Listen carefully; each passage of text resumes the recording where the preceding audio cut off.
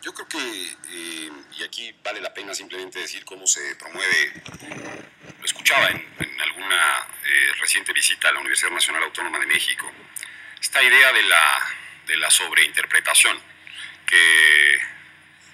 que se trata, digamos, de posicionar en el espacio público cuando, no, cuando hay en realidad una diferencia que debe expresarse concretamente con el modelo que los legisladores edificaron.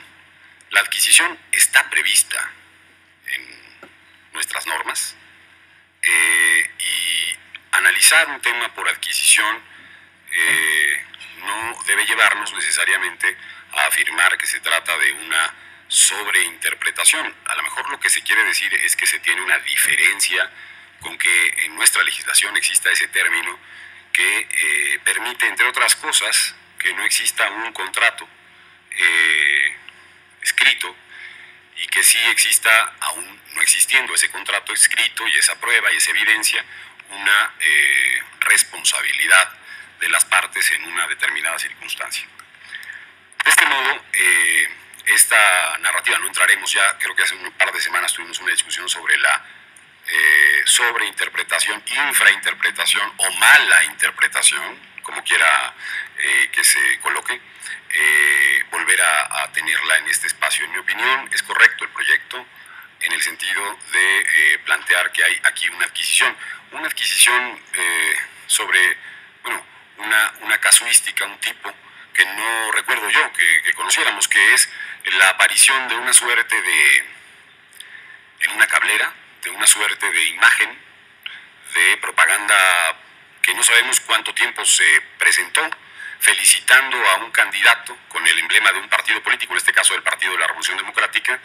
eh, que apareció en un periodo eh, largo. Eh,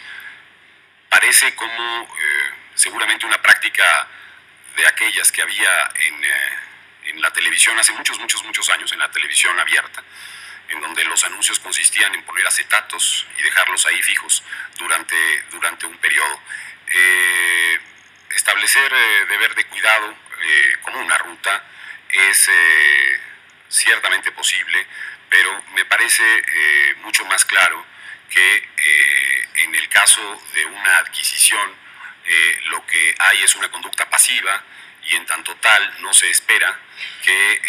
en las cableras del país eh, se tenga, digamos, el deber de cuidado de revisar los acetatos que se supone eh, se presentan, eh, digamos, sin, sin, ninguna suerte de intencionalidad, felicitando con emblema y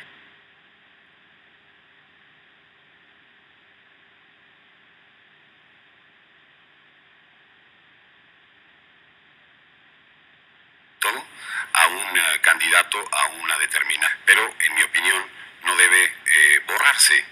una parte que eh, está presente en nuestras normas y que ha sido eficaz, eficaz justamente para eh, ir conteniendo aspectos vinculados al fraude a la ley, a la simulación, como ha sido la palabra adquisición, aunque hoy se promueva eh, muy abiertamente la desaparición del concepto justamente para que quede legalizado, me parece, un tipo de conductas que pudieran no necesariamente ser las que originalmente pensó el propio legislador. Hasta aquí mi intervención. Gracias, señor consejero.